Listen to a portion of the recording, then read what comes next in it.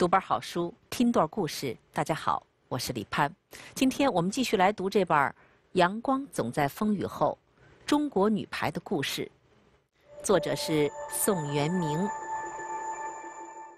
一九八一年十一月，经过了四年魔鬼般的训练之后，女排姑娘们在教练袁伟民的带领下出征日本，参加第三届世界杯的排球赛。在开幕式上啊，按照传统，卫冕冠军。日本女排的主将横山树里将冠军奖杯交还给了国际排联主席鲍尔利伯。这一短暂的交接仪式意味着，过去四年的排名正式清零了。每一支参赛队伍自此都将参与到新一轮的角逐之中。所有人都凝视着那只奖杯。中国女排的姑娘们心中充满了难言的渴望和强烈的激情。十一月七日，中国女排。在东京代代木体育馆迎来了第一个对手，南美冠军巴西女排。谁也没想到，中国女排仅用四十五分钟就以三比零的大比分取得胜利。接下来，中国女排第二个对手是曾经八次获得世界冠军的苏联女排。苏联女排虽然在二十世纪六十年代逐渐让位于东洋魔女日本女排，但她们的实力依然不可小视啊。尤其苏联女排的身高优势，更是中国女排无法企及的。然而，中国女排同样大显神威，再次以三比零力克对手。士别三日，当刮目相看呢。中国女排果然与四年前大有不同。结束了东京的征程后，中国女排继续北上，来到北海道的首府札幌。书中写道。宾馆巨大的落地窗外，白雪纷飞，银装素裹。中国女排的姑娘们却在屋内排队等待队医的治疗，因为姑娘们几乎是人人都挂了彩。曹慧英的膝盖里埋着钢钉，中苏对决时，正是这名二十七岁的老将适时登场，阻断了苏联女排的翻盘之路。喜欢同袁伟民抬杠的陈招娣。此时疼得龇牙咧嘴，同时还不忘头头是道地点评对方的战术。陈亚琼的胳膊上也绑着绷带，稍微碰一下都会疼得倒吸一口凉气。郎平的腰伤尚未痊愈，几乎是绑在身上的一颗定时炸弹。看着这些坚韧顽强的姑娘们，袁伟民暗自祈祷。一定要让他们拿到世界冠军，这无关名利，甚至无关梦想，只是因为，他们值得这样的荣誉。接下来，中国女排力挫韩国女排、保加利亚女排、古巴女排和美国女排，六战全胜，无一败绩。曾经想都不敢想的世界冠军之位，如今是近在咫尺啊！然而。他们将面临夺冠之路上最后一个最大的挑战，那就是上届冠军、多次将中国女排打败的东洋魔女日本女排。一九八一年十一月十六日，中国姑娘和东洋魔女在日本大阪体育馆迎来了最终的对决。那一天呐，整个大阪体育馆人声鼎沸。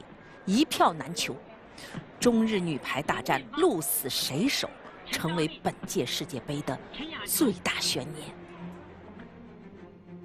日本女排的主帅小岛孝志在世界杯开始时，按照日本传统蓄须明志，表示不拿到冠军绝不刮胡子。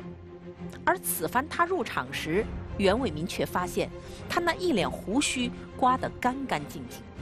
小岛孝志似乎也注意到了不远处那双正在端详他的眼睛，他抚摸着下巴，意味深长的一笑，甚至还冲袁伟民做了一个鬼脸。此举无非是在向中国女排宣示，冠军已经是日本女排的囊中之物，欺人太甚，必须拼了。被激发了士气的中国女排攻势凌厉，连赢日本两局。按照世界杯的积分规则，中国女排此时已经是拿到了第三届世界杯女排赛的冠军之位。然而就在此时，谁也没有想到，日本女排夺冠已然无望，却越挫越勇，开始奋起直追，俨然已经杀红了眼。全场的日本观众高声为本国选手助威，喊声震天。而中国女排却因连日的紧张和疲劳，有些力不从心，只能眼睁睁地看着日本女排将比分追成了二平。袁伟民申请了暂停，望着不远处一脸杀气的日本女排和场上情绪激动的日本观众，他对已现疲态的女排姑娘们说：“你们不要以为你们已经拿了世界冠军。”如果输了这场球，你们就等于做了加身饭。如果你们最后输给了日本，那么就算是小分拿了世界冠军，也并不是一件光荣的事。是啊，中国女排队伍自诞生的那一天开始，所求的就不只是争领奖台上的胜利，他们更希望向世人展示中国女性敢于竞争、不甘落后的勇气和决心啊。这场对决早已不是奖杯之争了，而是士气之争、荣誉之争了。中国女排在袁伟民的激励下奋起直追，让我们来看一看这场王者对决的关键时刻。第五场开局以来，中日女排的比分咬得极死。